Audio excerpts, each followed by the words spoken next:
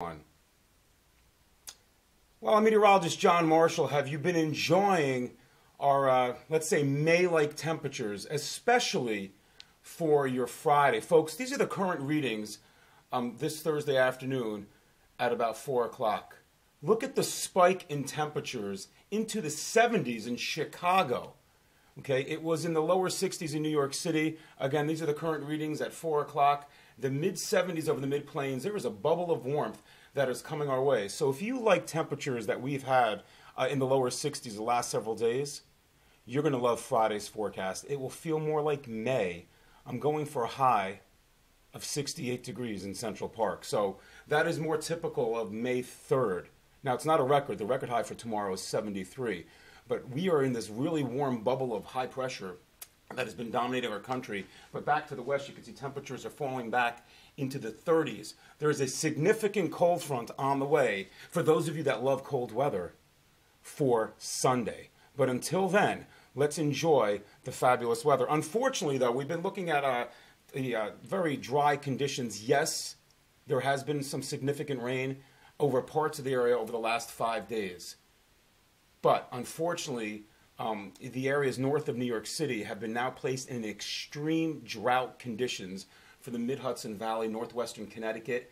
Um, extreme western New Jersey missed the bulk of that rain about two to three days ago, so it is incredibly dry around here. Rainfall deficits are anywhere between 6 and 15 inches for the year to date. And the reservoir levels right now are about 20% below capacity. They should be at about 75% capacity. We're between 55 and 57% of capacity.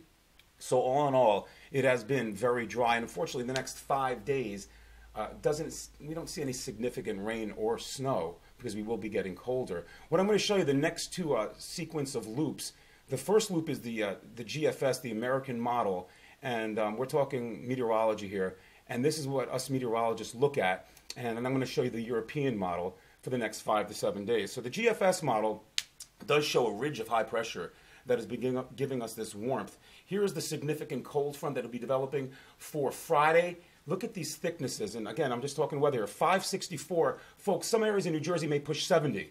Then Saturday night, the cold front comes through and whew, baby, it gets cold around here. Temperatures drop like a rock for uh, Sunday into Monday. High pressure Monday into Tuesday. Our next weather maker next week looks to come around Thanksgiving Day. Will it be warm enough or uh, cold enough for snow? It doesn't look so right now. Uh, the, the, system looks diffuse in with the GFS. Now we're really taking out in time to Thanksgiving weekend. The GFS wants to develop something offshore. I'm not a big fan of long range forecasts, you know that. Here's the European. Tomorrow, 564 thickness screaming through the Mid Hudson Valley. We're pushing 65, 70. Here comes the real cold front uh, Saturday night. And again, very windy, very cold Sunday, scattered rain and snow showers. Into Monday, very chilly. Monday into Tuesday, these isobars, the line of equal pressure, begin to relax. Tuesday, Wednesday, the travel day looks good.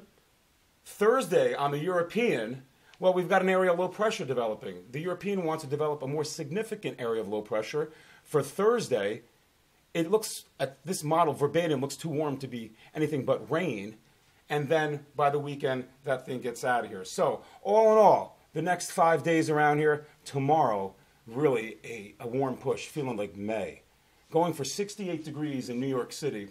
Um, that is typical for May 3rd or 4th. Again, the record high is 73. Saturday, we're going to do it one more time, baby.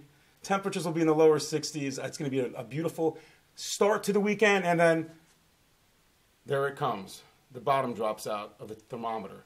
We go into the 40s for highs, a cold blast, windy conditions, scattered rain, that is not a, a, a mistake there, and snow showers for a Sunday, okay? And looks like ski country, northern New England, will get possibly several inches of snow, so they're going to get a, a bit of a base going thankfully, right, for next weekend. A lot of people do go skiing for Thanksgiving. And then Monday, wind chills will be in the 30s, highs will be in the 40s, and by Tuesday, still a nip in the air. And I went out um, today to Dunellen, and I visited uh, these kids at Faber Elementary in Dunellen. Uh, that was K through 5. They had a blast. They knew their weather. Folks, if you want your school to get involved in a, a highly uh, dynamic, interactive, and curriculum tailored weather program, reach out to me. It's, uh, it's a fantastic program. Your administration will love it, the educators, and especially the kids, because they're learning about weather from a TV weather guy, and plus they're getting in front of the green screen, like I've got behind me, believe it or not, and they see how TV weather is done. So, all in all, you can get your five day forecast, you can get all that information at www.johnmarshallweather.com. Have a great weekend. Enjoy your Friday. We'll talk to you guys soon. Take care.